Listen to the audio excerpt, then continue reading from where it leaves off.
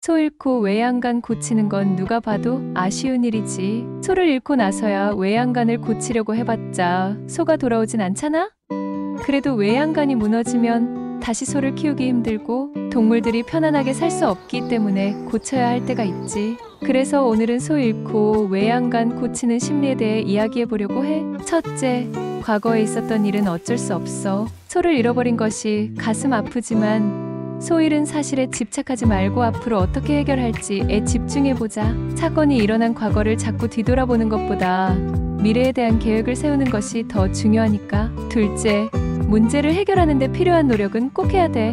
외양간이 무너지면 동물들이 힘들어하지만 우리가 노력해 고쳐주면 동물들도 편안해 할 수 있어. 문제 상황에 직면했을 때 뒤로 물러나는 것이 아닌 적극적으로 대처해야 하는 거야. 셋째, 도움을 구하는 것은 부끄러운 일이 아니야. 외양간 고치기가 어려워서 혼자서 할 수 없다면 도움을 청해도 괜찮아.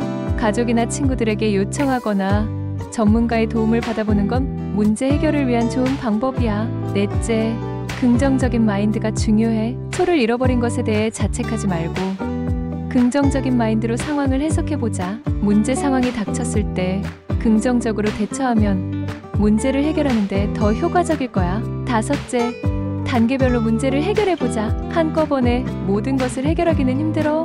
일단 처음부터 조금씩 문제를 해결해가면서 외양간을 고쳐보자. 단계적으로 문제를 해결함으로써 더 나은 결과를 얻을 수 있을 거야. 소를 잃고 외양간을 고치려는 행동은 심리학적으로 해석해 볼 때 상실에 대한 불안과 조절 기제라고 볼 수 있습니다. 즉, 소는 자신의 안전한 공간을 잃어버리면서 불안과 이협적인 상황에 직면하게 되었습니다. 이때 자신의 안전을 보호하기 위해 스스로를 조절하는 방식으로 대처합니다. 이런 조절 기제를 통해 불안을 감소시키고 안정감을 회복하기 위해서 과거에 경험한 공간을 찾아가려는 행동을 보인다고도 볼 수 있습니다. 정신분석학적으로는 소가 자신의 안전한 공간을 잃으면 자기 손상적 메커니즘이 작동됩니다.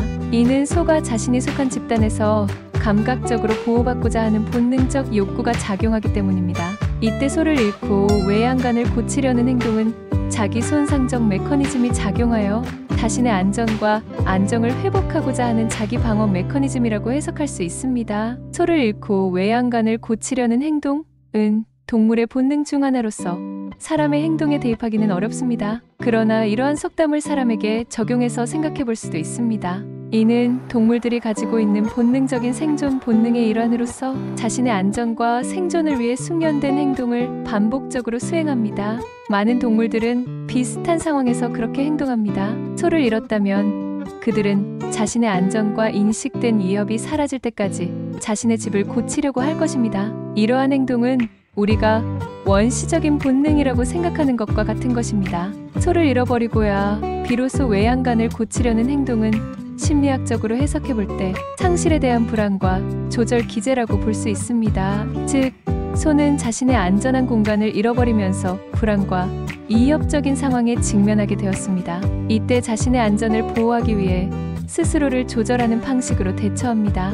이런 조절 기제를 통해 불안을 감소시키고 안정감을 회복하기 위해서 과거에 경험한 공간을 찾아가려는 행동을 보인다고도 볼 수 있습니다. 정신분석학적으로는 소가 자신의 안전한 공간을 잃으면 자기 손상적 메커니즘이 작동됩니다. 이는 소가 자신이 속한 집단에서 감각적으로 보호받고자 하는 본능적 욕구가 작용하기 때문입니다. 이때 소가 외양간을 고치려는 행동은 자기 손상적 메커니즘이 작용하여 자신의 안전과 안정을 회복하고자 하는 자기 방어 메커니즘이라고 해석할 수 있습니다. 소 잃고 외양간을 고치는 행동은 동물의 본능적인 행동 중 하나이므로 이를 완전히 막을 수는 없습니다. 그러나 다양한 접근법을 통해 소가 이러한 행동을 계속 반복하지 않도록 도울 수 있습니다. 아래 설명하는 내용들은 우리 자신에게도 충분히 적용할 수가 있습니다. 1. 영역 강화를 통한 방지. 소가 갖고 있는 본능적인 행동 중 하나는 자신의 영역을 보호하고 강화하는 것입니다. 따라서 소가 자신의 공간을 인식하고 자신의 영역으로 인식하는 것을 돕기 위해 직접적인 강화 활동을 적극적으로 진행할 수 있습니다. 예를 들어, 소가 새로운 외양간에 들어간다면 적절한 보상을 주어 이를 인식하고 강화합니다. 이러한 방법을 통해 소가 새로운 공간에 적응하는 데 도움을 줄 수 있습니다. 이 스트레스 감소를 위한 활동. 스트레스는 동물의 본능 중 하나입니다. 따라서 소가 스트레스를 받을 때는 본능적으로 자신의 안전한 공간을 찾으려는 행동을 합니다. 이를 방지하려면 소가 스트레스를 받지 않도록 하는 방법을 찾아야 합니다. 예를 들어 소의 스트레스를 감소시키는 주변 환경 조건을 제공하거나 소가 즐겨하는 활동을 도입하여 스트레스를 줄일 수 있습니다. 참 다양한 환경 제공, 소가 다양한 환경에서 적응하고 행동을 변화시키는 것을 습관화시키는 것도 좋은 방법입니다. 예를 들어 소가 자주 드나들 수 있는 천막이나 다른 공간을 제공하면서 새로운 기술이나 경험을 소가 쌓을 수 있도록 도와줍니다. 이러한 다양한 환경을 제공하여 소가 새로운 도전에 대한 경험을 축적하고 일정 기간 이를 유지하도록 하는 방법도 추천할 만합니다. 심리학적이고 정신분석학적인 치료 차원에서 소잃고 외양간을 고치려는 행동은 인간의 본능적인 행동 패턴의 불안 요인을 다룹니다. 다음은 이를 참고할 수 있는 접근입니다. 1. 인식적 대처 전략. 처음으로 이러한 본능적인 행동 패턴을 인식하고 의식화하여 자신이 왜 이를 경험하는지 알아보는 것이 중요합니다. 이를 위해 환경을 바꾸는 것 뿐만 아니라 나의 인식으로 돌아가 내가 느끼는 불안 요인을 파악해야 합니다. 적극적인 치료 접근 중 하나는 인식적 대처 전략으로 내가 거쳐야 하는 곳을 인식하고 안전 요소를 직시하고 불안을 해소하는 방법입니다. 이 자신의 적극적 참여, 정신분석적인 치료 중 자신의 적극적인 참여와 깊이 있는 대화를 통해 본능적인 행동, 패턴에 대한 인식을 높여야 합니다. 치료 전문가와의 대화를 통해 중요한 것을 잃고 외양간을 고치는 행동이 왜 벌어지는지에 대한 이해를 높이고 이를 다른 대안으로 대처하는 방법을 찾습니다. 참 안정적인 환경 제공, 치료 접근 중 하나는 안정적인 환경을 제공하는 것입니다. 나의 공간이나 환경을 최대한 일정하게 유지하고 나의 요구에 맞는 안정적인 공간을 제공함으로써 나의 불안 상태를 줄이는 방법입니다. 이러한 조치를 통해 나 자신의 안정과 행복을 추구할 수 있습니다. 계속해서 나 자신의 모든 것들을 지속적으로 잃지 않고 행복하려면 다음과 같은 방법을 고려할 수 있습니다. 1. 지속적인 체계적인 관리. 나 자신을 잃는 원인 중 대부분은 관리 불량입니다. 나 자신을 늘 각인하고 감시하고 최적의 환경을 제공하기 위해서 일정한 체계적이고 지속적인 관리가 필요합니다. 예를 들어 나 자신이 가 자주 드나들 수 있는 공간을 마련하고 1. 식, 주가 충분히 제공되며 적정한 건강, 조건을 충족시켜야 합니다.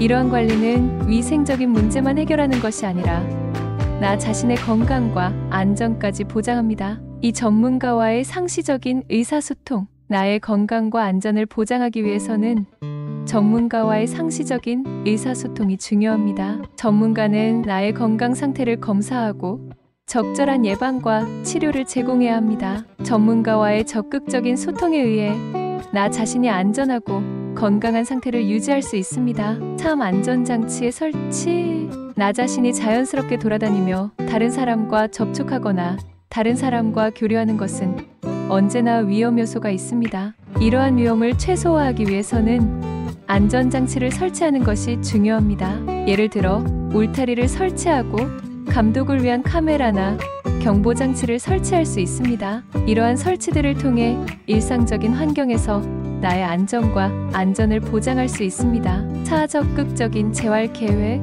만약 우리가 다치거나 부상을 당한 경우 적극적인 재활 계획이 필요합니다. 이는 향후 안전의 보장을 위해 필요한 것입니다. 따라서 부상이 생길 경우 빠르게 처치해야 하며 치료와 유지 관리를 위해 상시적인 관리를 제공해야 합니다. 또한 부가적으로 알아야 할 내용은 1. 일상적인 습관에서 벗어나기 모든 사람은 일상적인 습관에 빠져 생활하곤 합니다. 하지만 때때로 벗어나 새로운 도전을 시도하는 것도 좋습니다. 새로운 활동을 지속적으로 시도하며 새로운 경험을 하게 되면 자신의 역량을 더욱 깊이 인식하게 됩니다. 이 기존의 생각과 관행을 바꾸어 보기, 일상적인 생활에서 자신의 기존의 생각과 관행을 바꾸는 것도 중요합니다. 이를 통해 새로운 시도를 하게 되면 기존에는 놓치거나 모르고 있던 것들을 인식할 수 있습니다. 참 다양한 경험을 추구하기, 새로운 환경이나 경험을 시도해보는 것은 본능적으로 우리를 불안하게 만들 수 있습니다. 그러나 다양한 경험을 추구함으로써 새로운 환경에 적응할 수 있는 능력을 키우고 역량을 확장할 수 있습니다. 소를 잃고 외양간을 고치는 행동은 인간이나 동물에게 자연스러운 본능 중 하나로서 안정과 안정을 추구하는 행동입니다. 이를 인지하고 적극적으로 관리하는 것이 중요합니다. 안전한 환경을 제공하고 스트레스를 관리하며 긍정적인 마인드를 유지하는 것이 중요합니다. 고민이나 불안이 생길 때는 전문가의 도움을 받고 적절한 전략을 세워 문제를 해결할 수 있습니다. 계획적인 대처와 긍정적인 마인드를 유지하며 소를 잃고 외양간을 고치는 행동을 통해 더욱 강해지고 안정을 찾을 수 있습니다. 이러한 자세는 자기 존중감을 높이고 삶의 질을 향상시키는 데 도움이 될 것입니다. 이런 모든 과정을 통해 소를 잃고 외양간을 고치는 행동은 우리가 안정과 안정을 추구하는 본능적인 행동 중 하나입니다. 이를 인식하고 적극적으로 관리하는 것이 중요합니다. 안전한 환경을 제공하고 스트레스를 관리하며 긍정적인 마인드를 유지하는 것이 중요합니다. 고민이나 불안이 생길 때는 전문가의 도움을 받고 적절한 전략을 세워 문제를 해결할 수 있습니다. 계획적인 대처와 긍정적인 마인드를 유지하며 소를 잃고 외양간을 고치는 행동을 통해 더욱 강해지고 안정을 찾을 수 있습니다. 이러한 자세는 자기 존중감을 높이고 삶의 질을 향상시키는 데 도움이 될 것입니다. 시청해주셔서 감사합니다.